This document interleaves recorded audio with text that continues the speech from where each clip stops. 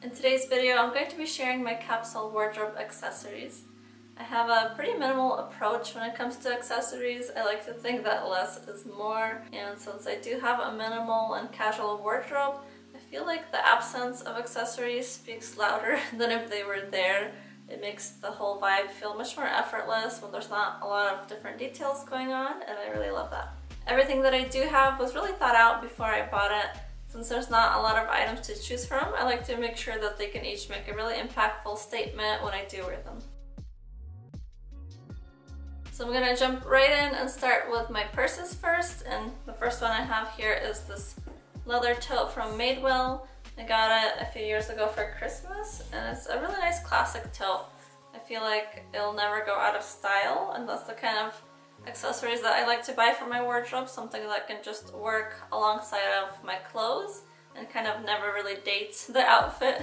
But this bag is really nice. It just has like a nice big opening inside here with a little pocket with a zipper. Another thing that I love about this tote is that it comes with this strap so you can also make it a crossbody bag and that's really great.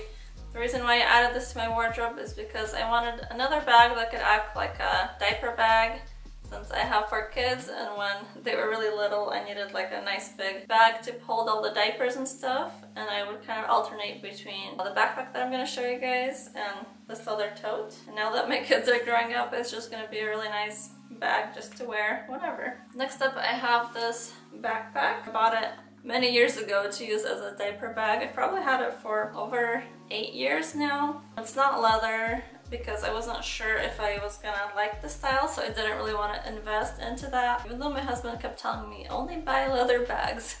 He's very particular about shoes and bags being leather and I love that about him actually. But I did end up using this all the time for the last eight years and it has worn out a little bit but not too bad. The only thing that really has worn out is this clasp on the side but I do think that I'm ready to move on and upgrade to a new style soon because all these zippers and golden details are a little bit too much for my minimal style.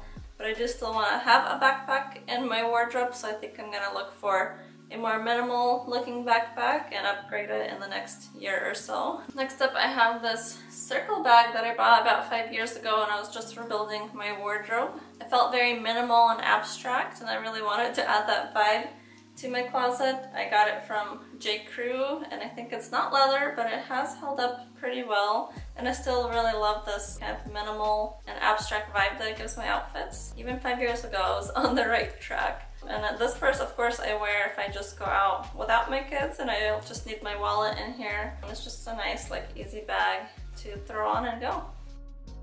And my most recent bag addition is this kind of half moon bag. I got it for Christmas last year. I requested it. And again, I really love that minimal kind of abstract style that it has. I think it gives a really big impact to my wardrobe because it's a style that's kind of unique. And again, that's kind of the vibe that I try to go with with all my accessories, kind of having like a more minimal and abstract look that can make my more simple outfits look more interesting. And this bag just has one small section inside with a few pockets, but again, when I'm just running errands without my kids, I just throw in my wallet and my phone and I'm good to go. Oh, and a chapstick. I always have a chapstick in every bag. I'm actually gonna put some on right now. I have chronic dry lips. Okay, moving on.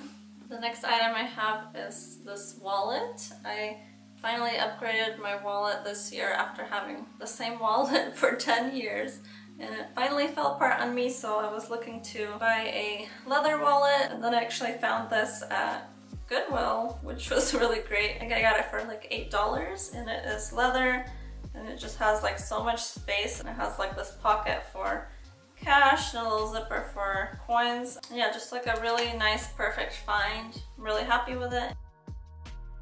So next up, I want to talk about my hats. I don't have a lot of hats again, but I do have this one that I bought the summer when we were going on vacation. I just wanted a straw hat that was very like minimal but very classic and I really love this one. I just got this at TJ Maxx but um, my husband says that this is a really good brand that makes good quality hats so again that was a great thing to find.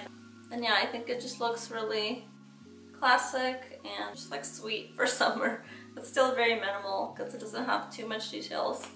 So next I want to talk about beanies. Bought these at Costco and my husband and I actually share. We have quite a few of these, maybe like five or six. And we wear them a lot. I wear them when I go on walks with my kids. And in the winter I wear them even around the house a lot because I tend to get pretty cold. We've been buying these for a few years from Costco. They're 50% wool. They're just like really warm and yeah, they're just nice and cozy.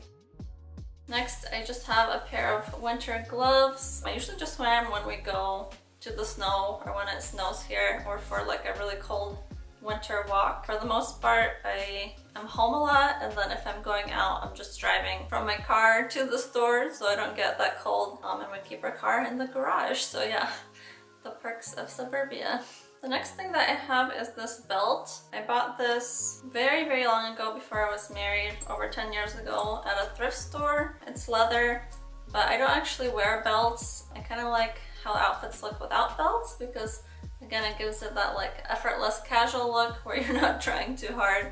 So I usually don't wear a belt, but I just kind of hang on to this guy because maybe one day I'll want to wear it and it's just gonna be waiting for me in my closet. The next thing that I have is a pair of sunglasses. I usually just wear sunglasses in the car when I'm driving. I don't actually take care of my sunglasses very well. That's something that I want to change.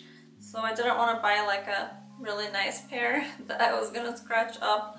So I just got this one at Target, but I like the style of it. I feel like it fits my face nicely. How do people do this like this?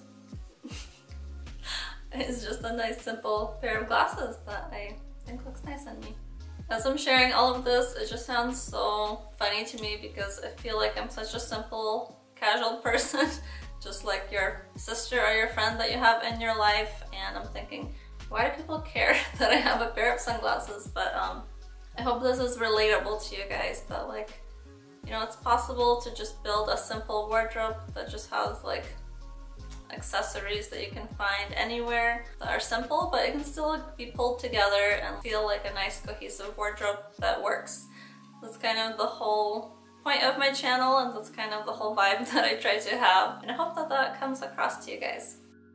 Okay, so moving on to jewelry. This is actually a place where I am not very minimal at. That's because I really love the look of having multiple piercings. Um, I have two in each ear, but I want to get more at some point. And I just love the look of like having lots of little minimal studs and hoops in your ear. I think that goes super well with like a minimal wardrobe. And again, kind of like with my purses that look a little bit more modern, I really love combining like a very simple outfit with like a little bit of some edgy modern earrings. I think it goes so well together. I've been just slowly building my collection over the years. I used to only buy earrings from like Target or whatever best fashion store I would be at. But over the last few years, I've been slowly trying to buy better quality ones. Now I still am not really able to afford any kind of solid gold jewelry, that's on my wish list for the future. You know, I would love to slowly collect those, but for now, I've upgraded to buying gold vermeil. So this is what I have so far. Um, there's just a nice collection of a little bit of hoops and studs. And yeah, they just make me happy to look at them and to wear them. And then of course I also have my wedding ring. I really love how minimal it is. Of course my husband picked it out when he asked me to marry him over 10 years ago and he knew me even then. He knew that I liked a minimal style, I guess, and I'm really happy that he picked this one because it just goes really well with my personality and my outfits. And then I have this necklace that was given to me as a gift for my birthday from my sister-in-law. It's really special to me because it has this mama stamp of this mom and her baby and on the back it has the initials of my kids and that's just so special to me. All my kids love to look at that and my son will always be like, oh, that's me and you.